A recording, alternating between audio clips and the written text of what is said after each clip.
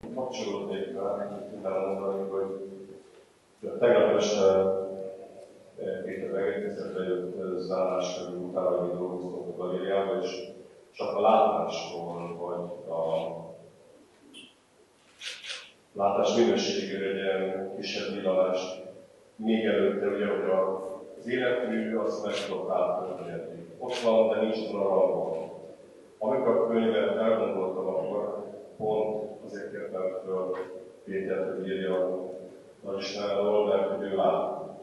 És igazából nekünk itt a galériában ilyen napi élmény, hogy milyen kevesen vannak, akiknek éles a szeme, akik nem mintákon keresztül látnak, vagy megtanult gondolatokon, gondolatokon keresztül látnak.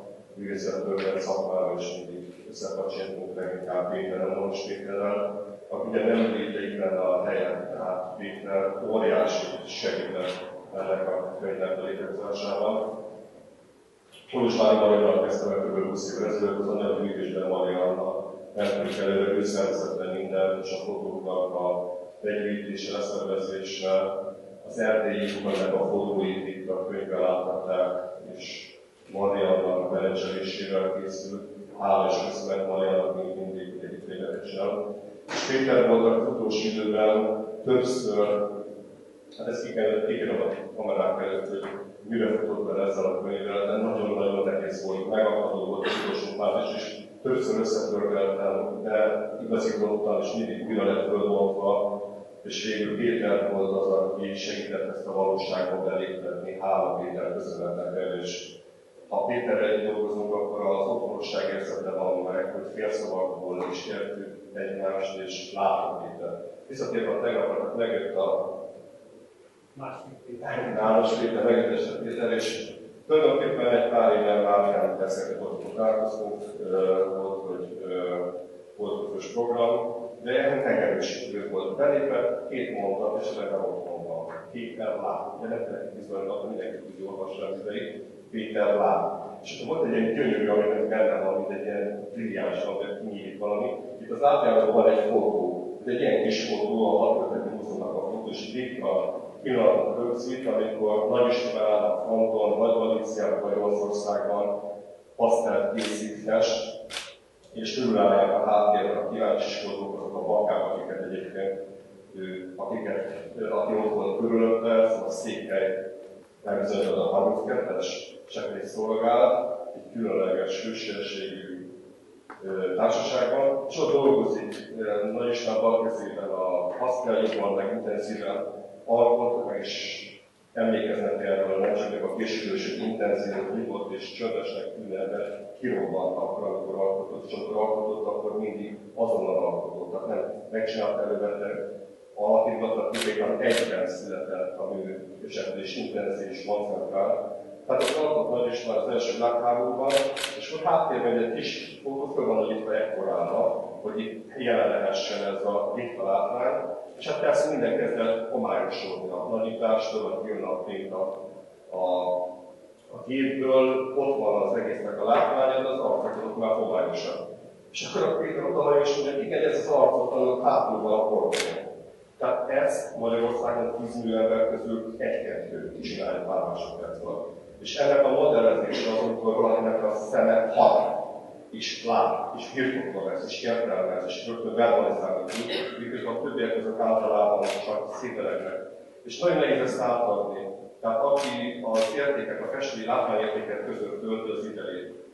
És ő nekem ez az utam, hogy tulajdonképpen lemondva a világ színvonalú nemzetközi festészettel való kereskedés, mert ez az ország azt nem lehetett megcsinálni, már erre készültem. És minden energiával a magyar festészet felé fordultam, akkor próbálj ezt legalább megváltozott, és ezt világ színvonalúvá kiugrat azokat a helyeket, azokat az életműveket, képeket, életmű szegmenseket, amik megbírják a, a bírják a megméretetést. Tehát, hogy ebben a magyar művészetben a foglalkozásban alapélmény, hogy itt van körülöttünk mindenki nincs, de senki nem lát, és kevesen látnak. És erre van szükség, hogy független látással felemeljük, aztán odáig meg egy ország, hogy higgye el az ország azt, hogy látasz nincs, a saját nincs visszafelé, hogy magába szívja az összes történelmünket, a sorsunkat, a szüleinkét, a nagyszüleinkét, Nagy Istvánét, az egész országét, és amellett egy brilliáns festői teljesítmény, amely foldokban, színekben, erővonalakban, önálló átét világképben, spontán és, és áramban megalkotott, létrehozott világban gondolkodik, vagy van otthon, hogy ez minden hoz magával, ami elkerült az ő életében is. És hogy ennek a folyamatnak tartosson rá, hogy ezeket az embereket összeszervezzem, a képek létrejöjjenek, és még egy fél mondat hozzá, megkérdezett 70 ember, mondom, hogy modellezi a nehézségeket. Ott vannak, tisztelet és köszönettel, hálával tekintek rájuk, hogy válaszoltak a kérdésekre. De ha valaki olvas a sorok között, vagy látja valaminek a kimondását, vagy a kimondásnak a hiányát, vagy a kicsit ellépését a dolgoktól, az összes nehézség modellezve van a listán életmérét kíséri, a magyar festészetet kíséri, és hogy szükség van egy csapatra, ami az egészet egyben lépteti előre. Tehát én úgy tekintek, hogy nem csak egy kiállítás, nem csak egy életmű, hanem ez egy modellezés annak, hogy milyen nehéz kulturális örökségünkkel, a festészet örökségével előrébb lépnünk, viszont hatalmas tartalék van benne, és ha elkészítjük, akkor az a 80-as évekbeli kör, körbenézés, ami nekem volt, hogy ez egy T-kategóriás, C-kategóriás, ki nem mondottan, szerint szimbólum testészetnek tartottam mindenki csöndben vagy kimondva, hogy ez teljesen más, és az nyugodtan lehet érveléssel elmondani, hogy ez más.